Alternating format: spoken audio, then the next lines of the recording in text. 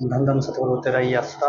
आप देख रहे हैं फेथ वर्सेस वर्डिक्ट मैं डॉक्टर मोहित इंसान, परम पूजनीय संत डॉक्टर गुरमीत राम, रहीम सिंह जी, इंसान के आई उनकी सोच व सच्चाई इस प्रोग्राम के माध्यम से आप सभी लोग देखते हैं, जानते व परखते हैं।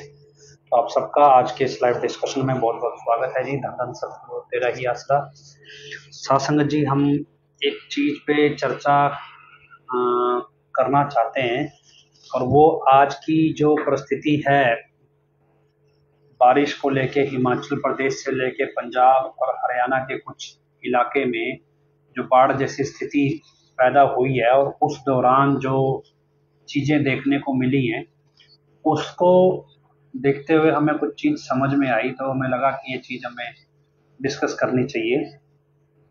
आप इन दिनों मीडिया में देख रहे होंगे कि हिमाचल प्रदेश में एक पार्वती नदी है और एक सतलुज व्यास ऐसे नदियाँ हैं। जिन नदियों में पानी बहुत ज़्यादा आ गया। और जहाँ जहाँ से नदियाँ गुजरती हैं, इसके अलावा घग्गर नदी है तो जहाँ जहाँ से नदियाँ गुजरती हैं, वहाँ वहाँ बाढ़ की स्थिति पैदा हुई हुई है और काफ़ी जगहों पे जैसे पटियाला है, जलंधर है, रोपड़, रूपनगर, रोपड़ एक पंजाब में शहर है अम्बाला का इलाका है, डेराबसी, चंडीगढ़ के पास के जो इलाके हैं, जीरकपुर अम्बाला और इधर से जो घग्गर नदी का ट्रैक है, जैसे पंचकुला से निकलती है तो आगे जाके जो समाना वाला एरिया है, समाना, चीका, इस तरह का एरिया है तो ये सब एरिया में मतलब पानी बहुत भर गया है, जो फ़सलें हैं वो ख़राब हो गई हैं और ये पानी कोई ऐसा नहीं है कि किसी के किसी को देख के घर में घुसता है। तो खैर, इस सारी परिस्थिति में जब आप तलाशेंगे कि 2019 में इसी तरह की ही बाढ़ 2019 में भी नदियों में पानी उफान पे आया था, सब कुछ था तो इसी तरह की बाढ़ 2019 में भी आ रही थी। और उस समय जिस तरह से ग्रीनेस वेलफेयर फोर्स विंग ने मोर्चा संभाला था पंजाब के अंदर भी, और सारी जगहों पे घग्गर में भी, सिरसा में भी घग्गर नदी बहती है।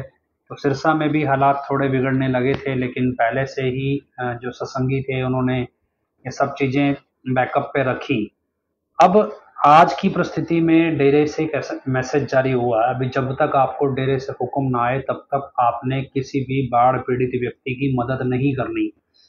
ये ऐसा हुक्म, हालाँकि जब कोरोना का टाइम आया था तो कोरोना के समय में भी एडम ब्लॉक से इसी तरह का मैसेज जारी हुआ था कि आपको जब तक हुक्म ना आए, तब तक काम नहीं करना। उस समय जो सेवा का दायरा था, वो इस चीज़ का था। भी लोग परेशान थे और अपने घरों में वापस जा रहे थे खास तौर पे यूपी बिहार, जो पूर्वांचल के लोग हैं, वो नॉर्थ इंडिया में आके मजदूरी का या जैसे लेबर का काम करते हैं तो ये लोगों को अचानक से कोरोना के समय में अपने घरों पे वापस जाना था और सारे जो रास्ते थे या जो साधन थे, बंद थे और उसमें पैदल जाते थे लोग वापस, उस समय पे भी इन सबकी मदद करने के लिए एडम ब्लॉक ने मना कर दिया था।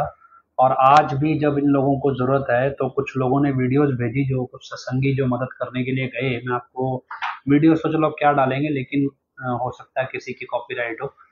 उस वीडियोस में एक चीज़ क्या है कि पटियाला का जो एरिया है, बस स्टैंड के पास का एरिया वहाँ पे कोई बड़ी नदी बहती है। वो नदी उफान पे थी और आसपास का जो अर्बन स्टेट का इलाका है, वो सारा डूब गया था। तो पटियाला के जो स्थानीय निवासी हैं, जिनका घर मतलब उस दायरे से बाहर आता है, जो उस एरिया से, जहाँ पे बाढ़ प्रभावित एरिया से, पटियाला में कुछ जगह ऊँचे स्थान पे। तो वो लोग क्या कर रहे थे, वो बाढ़ वाले प्रभावित एरिया में जो हाईवेज हैं जगह जगह हैं, वो खड़े थे। और वो जगह जगह खड़े होके सबको आने जाने वालों को जानकारी दे रहे हैं भी ये ये जगह पानी आ चुका है यहाँ यहाँ आप मत जाओ। और जहाँ जहाँ जो मदद के लिए क्या होता है कि मदद किस तरह की चाहिए होती है?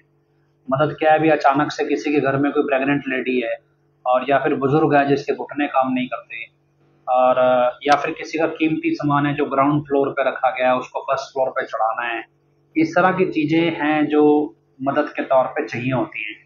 और ये इंस्टेंट अभी की ज़रूरत है, ये कोई बात की ज़रूरत नहीं है। और ऐसा नहीं है कि वो पानी सिर्फ़ गैर सत्संगियों के घर पे जा रहा है, वो सत्संगियों के घर पे भी आ रहा है, गैर सत्संगियों के घर पे। तो सबकी तरफ़ जिसका जहाँ घर आएगा, सामने आ जाएगा, पानी तो घुस जाएगा। लेकिन इसके लिए एडम ब्लॉक ने मना कर दिया।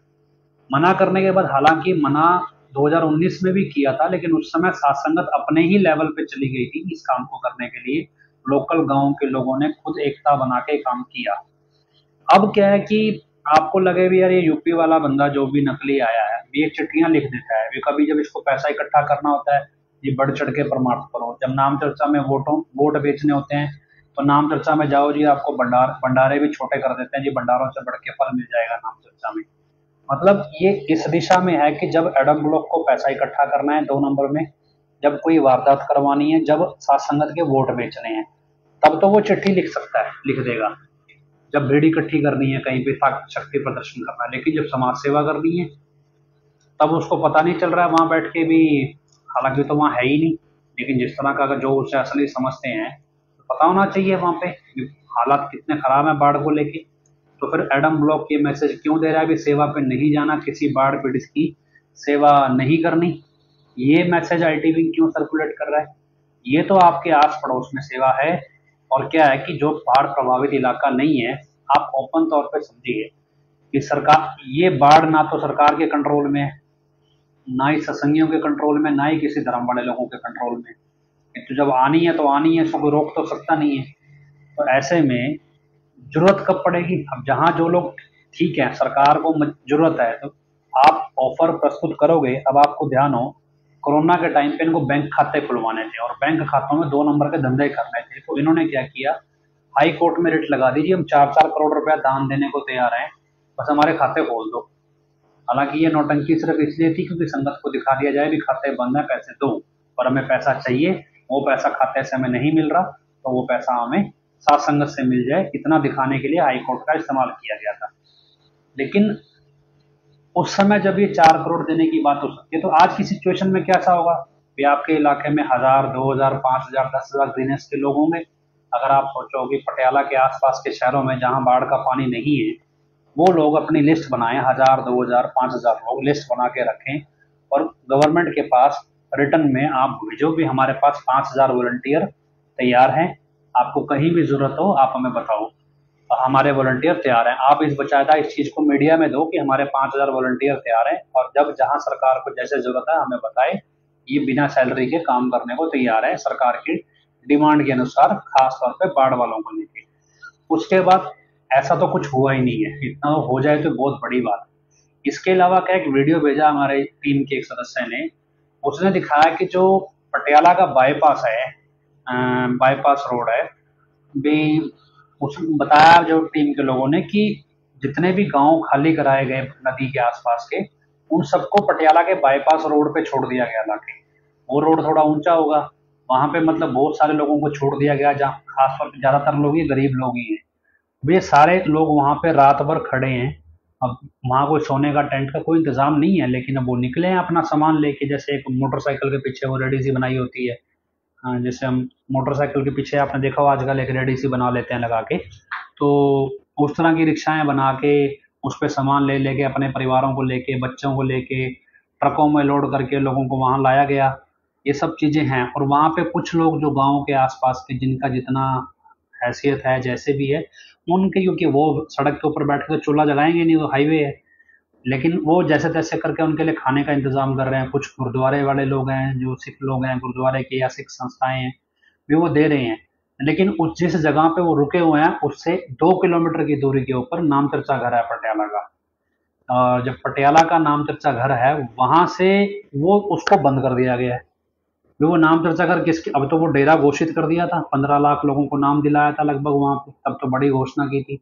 तो ये पंद्रह लाख लोग, गरीब लोग थे जिनको पैसे दे दे के, जैसे भी करके इकट्ठा किया था। तो अब अगर वो डेरा बन गया है और लोग आपके डेरे के बाहर दो किलोमीटर पे भूखे खड़े हैं रात को, प्यासे खड़े हैं, उनके घरों में बाढ़ का पानी आ गया है तो क्या पटियाला के नाम दर्शा घर या डेरा से लंगर नहीं दिया जा सकता था उनको? तो इस चीज़ की एडम ब्लॉक की तरफ़ से मनाही क्यों है? क्योंकि वो लंगर का पैसा भी एडम ब्लॉक को चाहिए अपनी ऐश के लिए। मतलब क्या है कि अब आपको लगे भी 2019 में तो एडम ब्लॉक की ज़रूरत ही नहीं पड़ी थी। सात संगत अपने आप ही मोटिवेटेड थी और चली गई थी वहाँ पे सेवा करने, सब कुछ करने। तो अब क्यों नहीं हुई वो मोटिवेटेड अब भी तो मोटिवेटेड होना चाहिए था। असल में क्या है कि सेवा जब होती है तो सेवा इस तरह से मोटिवेटेड होता है कि आदमी को मोटिवेशन मिला और वो सेवा करने गया। उसके बाद उसे रिवार्ड मिलता है। रिवार्ड कौन देता है? पिताजी देते हैं रिवार्ड भैया, आपने बढ़िया सेवा करी, आपको प्रसाद दिया जाएगा, आपको उसके बदले में खुशियाँ मिलेंगी, जिसके घर की परेशानी है, वो दूर हो जाएँगी, सब कुछ। 2019 में स्थिति कुछ ऐसी थी कि पिताजी सामने नहीं थे, कोई सबको लगन थी भी, किसी तरह हम सेवा करें, कुछ करें, पिताजी हमें माफ़ करें और वापस हमारे बीच आ जाएँ। इस लगन में लोग सेवा के लिए तत्पर थे और जब आएँगे तो पिताजी कहेंगे भी, हमारे पीछे से आपने ज़रूरतमंद की सेवा नहीं की तो नाराज़ ना हो तो इसलिए भी सेवा सेवा मतलब आपको ऑफ़ सब, सबने सेवा करने की कोशिश की। अब दूसरे स्टेप पे जब आप समझेंगे जो अब आज की सिचुएशन के हिसाब से, आज की सिचुएशन पे वो जो रिक्वायरमेंट थी भी सेवा करेंगे तो खुशी मिलेगी, आशीर्वाद मिलेगा, वो सारी रिक्वायरमेंट बिना कुछ किए ज़बरदस्ती नकली वाले ने पूरी कर दी। भैया, आपको एक घंटा नाम चर्चा सुन लो, आपको सेवा, भंडारे, पता नहीं क्या क्या बला बला सब मिल जाएगा। मिलना कहाँ से है? लेकिन क्या है कि जो रहमत को पाने की इच्छा थी, वो इच्छा को खत्म कर दिया इस नकली वाले तो अब क्या है कि अब सात संगत के मन में, सेवादानों के मन में है ही नहीं कि हमें सेवा करने जाना चाहिए। क्यों? जब पिताजी सेवा करने का जब प्रसाद देते थे तो उसके साथ साथ ये मतलब शाबाशी भी देते थे और इस तरह का मोटिवेशन भी देते थे, भी आगे इससे भी बढ़ चढ़ के सेवा करें। तो इस तरह का पैटर्न होता था भी सेवा करने वाले को लगता था भी अगली बार अगर मैं और ज़्यादा सेवा करके आऊँगा तो पिताजी और ज़्यादा वचन करेंगे। और, लेकिन अब जब बिना करे ही सब कुछ कर दिया, सेवा तो करके कोई गया नहीं, ऐसी। लेकिन, क्योंकि अब यूपी वाला जो आया तो 2019 की बाढ़ के सेवादारों को किस बुलाया का आप सोच के देखो। 2019 में जिन्होंने बाढ़ में बाँध लगाए नदियों पे तो क्या यूपी वाले ने बुलाया उसे? कि भाई तुमने बाँध लगाए तो मैं तुमसे मिलना चाहूँगा ऐसे सेवादारों से जिन्होंने अपनी जान पे खेल के उफनती नदी में बाँध लगाए। किसी ने नहीं बुलाया उसे, किसी ने ज़िक्र ही नहीं किया क्योंकि वो पुरानी बात हो गई, क्योंकि ना तो इससे इलेक्शन में फ़ायदा मिलता है और ना ही इससे सेवादारों से पैसा मिलता है। दोनों चीज़ें नहीं होती थी तो इसलिए ये काम हुआ ही नहीं। आज की सिचुएशन कैसी है? भी लोगों को जो चीज़ चाहिए थी वो बिना करे मिल गई तो अब सेवा करें क्यों? ये एक लॉजिक है। भाई आपको जब किसी आप कोई भी व्यक्ति अगर भला काम भी करता है तो उसको उम्मीद होती है कि मेरा भगवान मुझे कुछ देगा। अब जिसे वो भगवान मान रहा है, वो बिना करे ही सब कुछ दे दे तो फिर वो सेवा करे ही क्यों? और ये चीज़ हमने जो महसूस करी है तो इस दो दिन में जो बाढ़ की सिचुएशन है, और तो और पहले क्या होता था, जितने भी आईटी विंग के लोग होते थे, ये फटाफट मैसेज डालने लगते थे कि भाई आप बाढ़ आ रही है, अभी क्लीनेस के लोग, क्योंकि बहुत सारे लोग सोशल मीडिया पे लाइव आते थे, आते रहते हैं। तो वो अपने आप ही सेल्फ मोटिवेटेड थे, वो लाइव आ जाते हैं कि आप सेवादारों को एक्टिव रहना चाहिए, सेवा पे तैयार रहना चाहिए, किसी को ज़रूरत पड़ सकती है। अब क्या, क्योंकि ग्रीननेस के लोगों की तो ट्रेनिंग है, हालाँकि पिछले छः साल से वो ट्रेनिंग भी बंद कर रखी है। लेकिन जितनी जिसकी ट्रेनिंग है, और गाँव के लोगों को तो इस चीज़ की ज़रूरत भी नहीं होती, वो तो वैसे ही ट्रेंड होती चलो, ये हो गया, यहाँ तक भी हो जाता है तो भी मतलब ये भी हो जाता तो बड़ी बात थी अब इससे कम पे आए। पंचकुला में गगर नदी उफान पे है और अब ये जब ये समाना से निकली है ये नदी, समाना होके जाती है ये नदी तो समाना में नदी का जो बाँध है ये टूट गया। टूटने के बाद समाना के आसपास के लगभग 25-30 गाँवों में पूरी तरह पानी फैला हुआ है।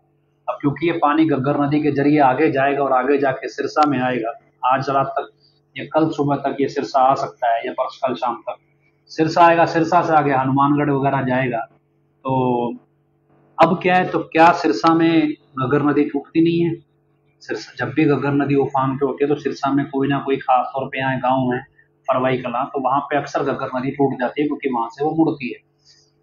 अब ऐसे में सिरसा की संगत को खास तौर पे सेवादारों को पता है बेस नदी का बाँध कहाँ से ज़्यादा टूटता है और कहाँ से इसे बांधना है और कैसे बांधना है, क्योंकि वो दो तीन बार उन्होंने बांधा भी है। ऐसे में क्या डेरे कल, आज कल में डीसी सिरसा की अच्छी खासी वीडियोज़ आ रही हैं कि आ, कि भाई गग्गर नदी उफान पे आने वाली है और उसकी तैयारी की जाए। तो क्या डेरा की तरफ़ से कोई प्रपोजल गया कि हमने दो तीन बार इस नदी में बाँध बांधा हुआ है और हमें पता है ये बाँध कहाँ से टूटता है? और हमें ये भी पता है भी इसको बांधना कैसे है? तो आप हमें ये बताओ कि कितने लेवल पे हम तैयारी करके रखें। तो क्या मिट्टी के कट्टे भर के रखें लोहे की जालियाँ तैयार रखें बाँस के डंडे तैयार रखें। जो चीज़ें रिक्वायरमेंट होती हैं, बाँध बांधने के लिए कोई दरार आ जाए नदी में, जो खेतों में पानी निकल जाए सबको रोकने के लिए तो वो सारी चीज़ें ग्रीनस के सेवादारों को मालूम है, खासतौर पर सिरसा के आसपास के लोगों को। ऐसे में डीसी सिरसा डेरा क्यों नहीं आया? उसने डेरे का मुद्दा, डेरे का जो डेरे की तरफ़ ध्यान क्यों नहीं दिया या डेरे से मदद क्यों नहीं मांगी? क्योंकि उनको पता है भाई, डेरा मदद करेगा ही नहीं। जो डेरा अपने घर गेट के बाहर बैठे भूखे, प्यासे आदमी को रोटी नहीं दे रहा है, जिसका पैसा संगत दे रही है तो इससे बेटर तो वो लोग हैं जिनके अपने घर तो अपने घरों में भी पानी आ रहा है, फिर भी वो लोगों की मदद कर रहे हैं, एक दूसरे की मदद कर रहे हैं। और छोड़ो, जिन्हें हम सरकारी भ्रष्ट तौर पे एमएलए कह देते हैं एमपी कह देते हैं, ऐसी भी फ़ोटो में आई भी कुछ एमएलए एमपी वो भी पानी में निकल निकल के लोगों को बचाने की कोशिश कर रहे हैं तो ये ग्रीनेस कहाँ गायब हो गई? आपको लगा भी एक भी आदमी नहीं निकला ग्रीनेस का? भी अचानक से, और उसके बाद डेरा ये ऐसा, ये मैसेज क्यों दे रहा है डेरे की मैनेजमेंट कि भाई आपने सेवा नहीं करनी है जब तक हुक्म ना आए? हुक्म किसके हुक्म का इंतज़ार है? जब वो एमएसजी कंपनी का माल खरीदना है, उसका हुक्म जारी हो सकता है वहाँ से तो किसी की सेवा ना करने का हुक्म कैसे जारी हो रहा है? मतलब आपको कॉमन सेंस लगानी चाहिए कि कोई भी व्यक्ति है नीच से नीच आदमी भी है, वो भी कभी आपको ये नहीं कहेगा भी किसी मरते हुए व्यक्ति की या भूखे प्यासे व्यक्ति की मदद ना करो। उसके, वो करना नहीं चाहता एक अलग बात है, लेकिन वो कभी कहेगा नहीं। लेकिन यहाँ तो एडम ब्लॉक बोल रहा है, अभी नहीं करनी है। और उसके बाद अब क्यों, अब अगर वो, जिसे आप असली मानते हैं ये लोग यूपी वाले को, क्यों अब वो सुनारिया में अगर बैठा है तो उसको क्या न्यूज़ नहीं मिल रही है? उसका इंटरनेट का रिचार्ज खत्म हो गया है। उसको पता नहीं चल रहा है हरियाणा, पंजाब में बाढ़ की स्थिति आई हुई है। अम्बाला जैसे इलाके में जहाँ टांगरी नदी बहती है, सब है, वहाँ पे आसपास अम्बाला शहर अम्बाला कैंट, ये सारा एरिया बाढ़ के पानी में डूब रहा है। इस प्रदेश का गृह मंत्री अपने घर में किश्ती में बैठ के जा रहा है, उसका अपना घर डूब गया है। मतलब अनिल विज गृह मंत्री है, वो भी अपने घर में किश्ती में बैठ के जा रहा है, इतना पानी है अम्बाला के अंदर। तो क्या अम्बाला के आसपास के इलाके में गुंडागर्दी करानी हो? संदीप, अन्नू, पेवा, कुरुक्षेत्र करनाल ये इस्माइलाबाद के सारे गुंडे इकट्ठे करके पंचकुला दंगे में ला सकता है, दिल्ली दंगे में भेज सकता है। तो क्या ये उन्हीं, जो गुंडे बने तो वो ग्रेनेस के सेवादार भी हुए हैं? उनमें से कुछ तो वो अब सेवा नहीं कर सकते? सिर्फ़ पैसा ऐंठने के लिए ही है डेरा इसका मतलब क्या है कि इस नकली वाले ने आके ग्रीनेस को हमेशा के लिए खत्म कर दिया, एक तरह से भी ग्रीनेस का अस्तित्व खत्म हो गया। भी अपने अंदर भी किसी को ये नहीं है कि हमें मदद के लिए निकलना चाहिए, और जहाँ मदद करोगे कैसे? आपका लीडर ही नहीं है मतलब हमारा कोई लीडर ही नहीं है। कौन जाके सरकार से बात करेगा भी हम मदद करना चाहते हैं? क्योंकि जब वो सरकार से बात करने जाएँगे तो उसके बाद पता क्या बोलेंगे? देखो, इतने बंदे आपको वोट देंगे, मदद करने के पैसे भी आपके नाम के खा जाएँगे। तो इतने कमीने इतने घटिया किस्म के लोग हैं। तो ये चीज़ आपको इस तरह से समझनी है कि कभी आप पिताई से जब हम मिलते थे, सेवादार मिलते थे, कभी पिताई से मिलते हुए कभी आपको ये लगा भी आगे काम करना बंद कर देना चाहिए? जितनी बार हम मिलने जाते थे, सेवा करने के बाद प्रसाद मिलता था, उतनी बार ज़्यादा मोटिवेशन मिलता था भी अगली बार और ज़्यादा सेवा करके आए। ऐसे सेवादार आप देखना, हर बार जब पिताई सेवादारों को दातें देते थे तो हर बार सेवादारों की गिनती पिछले साल के मुकाबले ज़्यादा होती थी। और पिछले साल के मुकाबले ज़्यादा हाजिरी, लगभग ज़्यादातर सेवादारों की हाजिरियाँ पिछले साल के मुकाबले में ज़्यादा होती थी। क्या कहें किसी की कोई पारिवारिक मजबूरी आ जाए। लेकिन अब की बार बिल्कुल खत्म। खत्म इसलिए भी किसी ने कुछ किया ही नहीं। किया है नहीं और दिखा ये दिया भी, पता नहीं कितना भर भर के आपको समुन्द्र दे देंगे। समुन्द्र से बढ़ के उससे बड़ा समुन्द्र दे देंगे, पता नहीं। उसके बाद शुक्र मनाओ समुन्द्र में सुनामी नहीं दे दिया उसने। तो मतलब क्या है कि ये फालतू के घोषणा ही करनी थी, वो तो समुन्द्र छोड़ो वो तो शीर्ष सागर दे देगा आपको, जिसमें धरती भी रहती, जिसमें शेष नाग रहते हैं। तो वो भी दे सकता है, वो भी दे देगा, उसका क्या है? बोलना ही है, उसने कौन सा कुछ करना है। तो प्रैक्टिकली ये चीज़ आप सोच के देखो भी 2019 से 2023 में फ़र्क क्या आया? 19 में किसी ने नहीं कहा था गाँव के लोगों को भी ग्रीनेस के सेवादार इकट्ठे हो तो बाँध बांधने जाओ। आज एक सिंगल फ़ोटो वीडियो आपको ग्रीनेस के सेवादार की नहीं दिखाई देती। और छोड़ो भी, डेरे के गेट के बाहर भूखे आदमी, प्यासे आदमी बैठे हैं, बाढ़ पीड़ित। डेरे के गेट बंद हैं। दस किलोमीटर दूर से गुरुद्वारे से लंगर बन के आ रहा है। कौन बना रहा है गुरुद्वारे में वो लंगर? कोई तो उसमें आटा भी दे रहा है, कोई सब्ज़ी भी दे रहा है तो क्या डेरे के अंदर लंगर नहीं बन सकता है? सिरसा में गग्गर नदी में जब बाढ़ आती थी तो स्पेशल सिरसा से सेवादार रानिया डेरे जाया करते, बहने जाया करते। रानिया डेरे, बहने आती, वहाँ ओटू हेड यहाँ पे एक जगह है, जहाँ पे छोटा सा डैम है एक तरह का, जहाँ पानी रोका जाता है। तो वहाँ से लंगर बन के सुबह शाम चौबीस घंटे सिर्फ़ ग्रीन सेवादारों के लिए नहीं, नामधारियों के सत्संगी थे, सबके लिए जाता वो लंगर डेरे से बन के रानिया डेरे से, कि भाई बाढ़ का काम है, पीड़ित लोग हैं, सबको लंगर दो। सारे पुलिस वाले जितनी एनडीआरएफ है, सबको जाता था। यहाँ अपने घर के बाहर भूखा आदमी बैठा, उसको खाना नहीं दे रहे हो तब जब उसका पैसा भी संगत ने देना है, और फिर पैसा मांगने में कोई कमी नहीं है। अभी थोड़ा, दो दिन पहले एक एस आया कि फतेहाबाद के अंदर तीन, चार, पैंतालीस नंबर थे यही जो यूथ फेडरेशन और यूथ वीरांगना वाले। और, इन सबने तीन करोड़ रुपया इकट्ठा किया फतेहाबाद से। और ये सारा ब्लैक ब्लैक में कैश है। ये कोई ऐसा नहीं है भी आपको रसीद काट के दे रहे तीन दिन पहले तीन करोड़ रुपया फतेहाबाद की संगत इनको ऐशप्रस्ती करने के लिए दे सकती है, लेकिन सेवा नहीं करेगी। लेकिन उनको बाढ़ पीड़ित से कोई मतलब नहीं है। अभी लोग भूखे प्यासे मर रहे हैं। क्या कहते थे पिताजी, भी आप अपने पड़ोसी से प्रेम करो और अगर पड़ोसी भूख से मर गया तो आपकी सेवा स्मरण करा कराया खत्म। और आपको पता है भी बाढ़ पीड़ित में लोग भूखे प्यासे मर रहे हैं तो आप लगे हैं जी तीन तीन करोड़ रुपए दान देके पता नहीं कौन सा क्या कर लेंगे। वो बोला जी, कुएँ के मेंढक से समुद्र का मेंढक बना देंगे। यहाँ तो समुद्र के मेंढक छोड़ो, मगरमच्छ निकल आए। मतलब क्या है कि बिना सिर पैर की बातें करता रहा, उसमें खुशी है। लोग तड़प के मरे भूखे प्यासे, उनकी सेवा नहीं करनी, और ये भी हुक्म जारी हो रहा है भी नहीं करनी। दो दिन बाद ये पानी उतर जाएगा, तब क्या करोगे? ज़रूरत तो उन्हें अभी है। वापस उन्होंने अपने घरों में जाना घर थोड़े घुल गए उनके पानी में। घर तो कंक्रीट से बने हैं, वो तो डूब गए। पानी उतर जाएगा, साफ़ हो जाएगा, दोबारा साफ़ सफ़ाई करेंगे। ठीक हो जाएँगे। फ़िलहाल जो चार पाँच दिन वो बिताएँगे बाहर सड़कों पे, अभी क्योंकि मानसून तो भी शुरू हुआ है। अभी तो सावन का महीना लंबा चलने वाला है इस बार। तो सावन थोड़ा लंबा है, इस बार अगस्त तक है। तो मानसून तो अभी शुरू हुआ है, अभी तो बरसातें और होनी है। तो कोई तैयारी है भी नहीं? कोई आप नहीं, अगर आपको एडम ब्लॉक बोलता, आप निजी स्तर पे कर सकते हैं, जो जो लोग कर सकते हैं। जी, हम इतने वॉलंटियर हैं, लिख के दो। आपको ज़रूरत क्या एडम ब्लॉक के आदेश की? को मतलब आपको, ऐसे आदमी को आप आपको भी ये हमारा सतगुर बन गया जी। हालाँकि हम तो नकली कह रहे हैं, लेकिन जो असली मान रहे हैं ये आपका कैसा सतगुर है जो लोगों को भूखे प्यासे मरने के लिए छोड़ दे रहा है? जो आपको डेरे के गेट बंद करने को बोल रहा है, जब भूखे प्यासे लोग आपके द्वार पे मदद मांगने आ जाए। हालाँकि वो मांग नहीं रहे हैं, लेकिन उनको तो मदद देने वाले दे ही रहे हैं।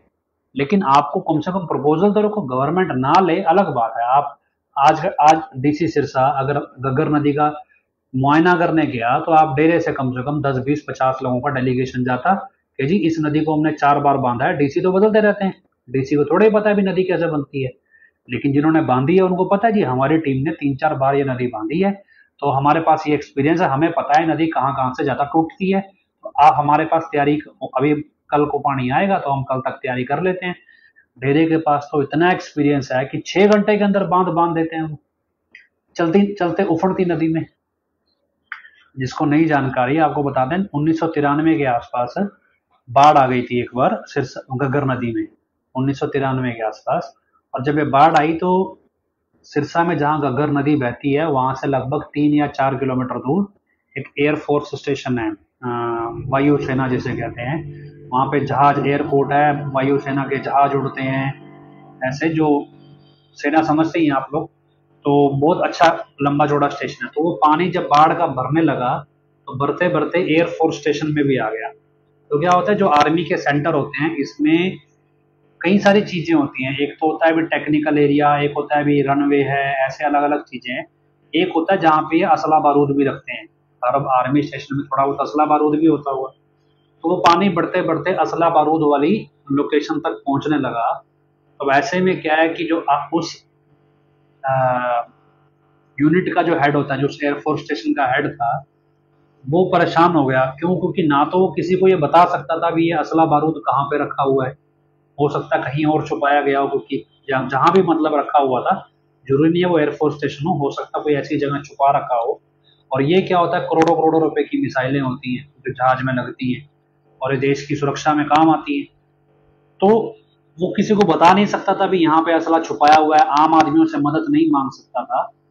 तो वो अकेला आया हजूर पिताजी के पास और पर्सनल मिला, बाकी सबको बाहर भेजा गया। तो उसने ये रिक्वेस्ट की कि जी भी हमारे पास भी असला बारूद है और ये खराब हो जाएगा बाढ़ के पानी से।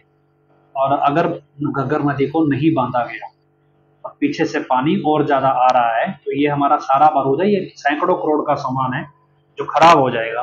भी आप कुछ करो और ये जानकारी मैं आम आदमियों को और लोकल प्रशासन को नहीं दे सकता कि यहाँ पे असला बारूद है। तो अगर आप आप पे मैं भरोसा कर सकता हूँ तो अगर आप कुछ कर सकते हैं तो हमारी मदद करें। उसके बाद बाढ़ के इलाके में खुद पिताजी उठ के चले गए थे। मतलब और छोड़ो, सेवादार ज़्यादा से ज़्यादा आए इसके लिए पिताजी खुद उठ के चले गए बाढ़ के इलाके में, जहाँ बाढ़ का पानी आया हुआ था और सारी संगत पिताजी के साथ जब गई तो छह घंटे के अंदर वो बाँध दोबारा बाँध दिया गया। तब जब नदी उफन रही थी, और एयरफोर्स स्टेशन का जो भी उनका वो हथियार वगैरह थे वो सारे आ, सेफ़ हो गए जैसा भी कह लो। और तब सिरसा के लोगों ने इतना एहसान माना था भी अगर डेरा नहीं होता तो ये सारा पानी जो दोबारा नगर नदी में उफान आया वो सारा पानी पूरे शहर में फैल जाता। लेकिन आज सिचुएशन ऐसी है कि अभी तो उतनी हालात बिगड़े नहीं है। और तब जब आज की आज की संगत उस टाइम तो ग्रीनेस भी नहीं थी। कि आज संगत ट्रेंड है। एक बकायदा एक फोर्स बनी हुई है इस काम के लिए, लेकिन डेरा बोल रहा है भी सेवा नहीं करनी। तो ये चीज़ आपको समझने की ज़रूरत है भी असल में खत्म क्या हुआ? मतलब जो लोग ये कहें, जी, हमारे को तो पिताजी इतनी खुशियाँ बख्श के हमारे को इतनी रहमतें बख्श के इन खुशियों रहमतों की वजह से, जो कथित खुशियाँ, रहमतें, जो भी ये कहते हैं, उसकी वजह से अगर सेवादारों के अंदर से सेवा करने की भावना ही मर गई तो कौन सी खुशियाँ, रहमत? है सेवादारों को प्रसाद देते वक्त पिताजी एक वाचन हमेशा किया करते, बेटा, जिसने सेवा करी है, वही प्रसाद लेना, दूसरे मत लेना। अब किसी ने पूछा, जी, इसका नुकसान क्या है? तो इसका नुकसान ये है कि अगर बिना सेवा किए प्रसाद ले लोगे तो ये प्रसाद आपको घर में बैठने नहीं देगा। मतलब कहने का ये कि जो सेवादारों को प्रसाद दिया जाता था, वो इस तरह से दिया जाता था भी इस प्रसाद के खाने के बाद उनको और ज़्यादा मोटिवेशन आता है कि हम और ज़्यादा सेवा करें। इसलिए ये माना जाता था भी डेरे में जो भी सेवा वाला प्रसाद खाता है, वो हर साल सेवा पिछले साल से ज़्यादा ही करता है। लेकिन अब अब जो सा प्रसाद ये खिला के गया है, पिछले साल छोड़ो तो सेवा बंद ही करवा गया है बिल्कुल। सेवा क्या रहेगी? सेवा तो रही नहीं है। पैसा देते रहो तो आप सेवादार हो तो आप भगत हो। जैसे ही आपने पैसा देना बंद कर दिया, आपका कोई, आपकी कोई औकात नहीं है। बतौर सेवादार, बतौर कुछ। तो खैर हाँ ये भी था अभी हजूर पिताई ने उस समय अपनी जूती उतार के पैर का अंगूठा या अपना चरण जो थे, वो बाढ़ के पानी में रखे थे। तब वो कहते हैं भी बाढ़ का पानी भी उतरने लगा था बहुत स्पीड से। तो देखो, वो संतों की अपनी रमज है, वो एक अलग आध्यात्मिक पहलू है, लेकिन दुनियादारी पहलू पे हम बात करते हैं। तो जगजीत सिंह हैं, ये निकल रानिया उस साइड के ही हैं जहाँ पे गगर नदी बहती है, उसके आसपास ही रहते हैं ओ टू हेड के आसपास ही रहते हैं शायद। तो क्या कि ये चीज़ें आपको समझनी है और यही चीज़ मैं, क्योंकि अभी मौजूदा सिचुएशन ऐसी है। आप देखो वीडियोज़ आ रहे हैं मनाली के और एक मणिकरण साहब के, कितना खतरनाक रूप है नदियों का। और ये तब है जब मानसून अभी शुरू हुआ है। और अगस्त तक क्या क्या हो सकता है, क्या नहीं हो सकता है, ऐसे में आपको ये सोचना है भी आखिर आपके अंदर से बतौर सेवादार, ये भावना क्यों मर गई? ये आप बैठ के सोचिए, विचार कीजिए कि क्यों किसी की मदद करने का मन नहीं कर रहा? क्यों डेरे के गेट के बाहर अगर भूखे प्यासे बाढ़ पीड़ित बैठे हैं तो भी डेरे के एडम ब्लॉक से ये हुक्म आ रहा है कि अभी सेवा नहीं करनी तो कब करनी है? तो ये सारी चीज़ें क्या है? अभी क्या हो रहा है? प्लानिंग बनाएँगे। फिर ये सेवा के नाम से आपसे पैसा लूटेंगे। ये आपको सेवा पे नहीं बुलाएँगे। ये आपको बोलेंगे, देखो जी, हम बाढ़ पीड़ितों को, अभी हमने बोल दिया, दूसरे दिन चिट्ठी आ जाएगी। कि बाढ़ पीड़ितों को जी पंद्रह पंद्रह सौ रुपए के, पाँच हज़ार रुपए के राशन के पैकेट दिए जा रहे हैं। भी ये सब दिया जा रहा है, उसका पैसा दे दो बस इनको। वो भी ये नहीं है कि आपसे किट लेके वहाँ वो दे देंगे। उसका आपसे पैसा ज़रूर लूट के ले जाएँगे। देखो जी हमने हज़ार किट दे दी, सौ पचास किट की वीडियो बना के डाल देंगे। और उसके बाद हर ब्लॉक से पाँच पाँच हज़ार किट का पैसा मांगना शुरू कर देंगे कि बाढ़ पीड़ितों को किटें देनी। अब जब वो भूखे प्यासे मौके पे हैं, अब उनकी कोई मदद नहीं कर रही। तो ये कैसे लोग हैं? किस तरह की सेवा जिनको हर एक सेवा में सिर्फ़ पैसा चाहिए? चलो, हम कहते हैं गुरुद्वारे की जो आते हैं वीडियोस वो भी पैसा लूट रहे हैं, लेकिन कम से कम वो ज़रूरत पड़ने पे खड़े तो हैं। उनको और कुछ नहीं पता, या उनको कोई गाइड करने वाला गुरु जो देश रूप में नहीं है, बावजूद इसके कम से कम भूखे आदमी को रोटी तो वो खिला ही रहे हैं ना। और कुछ करें या ना करें। तो यही चीज़ आपको समझनी जैसे कोरोना में रोका गया वैसे अब रोका गया और उसके बाद कोरोना के नाम पे कहा जी, नींबू पानी पिला दो, किसको? पुलिस वालों को। जब लोग भूखे पैसे तो गरीब आदमी की मदद करने में क्या ज़ोर लगता है? गरीब आदमी की मदद नहीं करनी। पुलिस वालों को तो सैलरी मिल रही है, पुलिस से सरकार से बैकअप मिल रहा है और पुलिस को तो जब एक्स्ट्रा टाइम करने का भी पैसा मिल जाता है, एक महीने की सैलरी पूरे साल में एक्स्ट्रा मिलती है। लेकिन जो लेबर क्लास लोग थे, जिनको पैदल हरियाणा, पंजाब से बिहार जाना था, उनकी मदद नहीं करनी। क्यों? ये आपको लगता नहीं बिल्कुल वैसी सोच है, भी दलित लोग हैं, इनकी या जो पिछड़े हुए लोग हैं, इनको लात मारो अपर कास्ट के हैं तो हम अपने हिसाब से चलेंगे भी तो मरने के लिए पैदा हुए हैं। जैसे आपको टिपिकल बीजेपी आरएसएस वालों की सोच होती है, बिल्कुल उस तरह की सोच नहीं लगती आपको ये?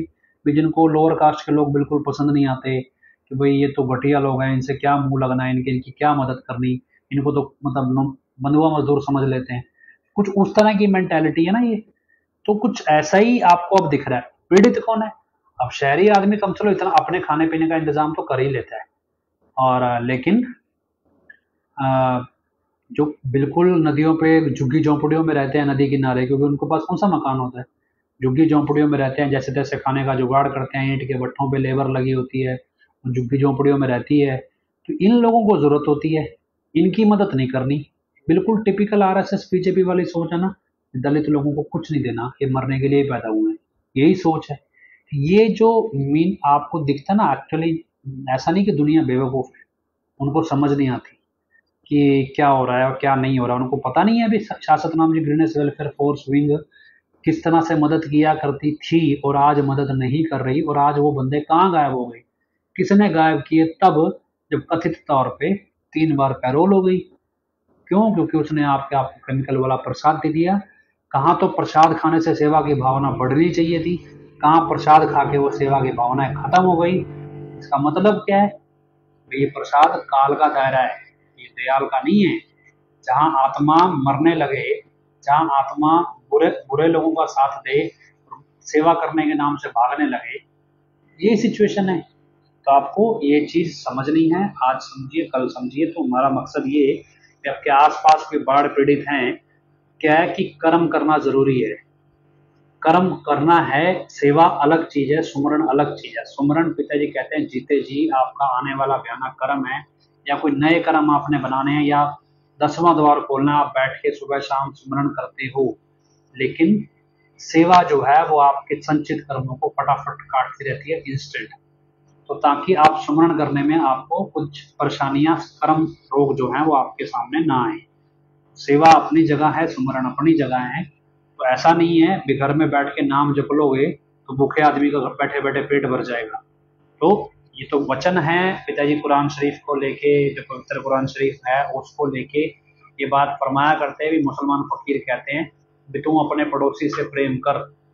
अगर तेरा पड़ोसी भूख से तड़प के मर रहा है, तुझे इल्म है और तुम अपनी इबादत में खोया हुआ है तो अगर तेरा पड़ोसी भूख से तड़प के मर गया तो याद रख तेरी की गई इबादत खाक में मिल जाएगी और तू दो जख में चलेगा मतलब नरक में जाएगा। तो हमारे पड़ोस में आस पड़ोस में अगर बाढ़ पीड़ित कोई भूखा है तो उसकी मदद करना आपकी पहली ड्यूटी है। सिमरण करना सेकेंडरी है। वचन गुरु का मानना है, वचन में ही भक्ति होती है।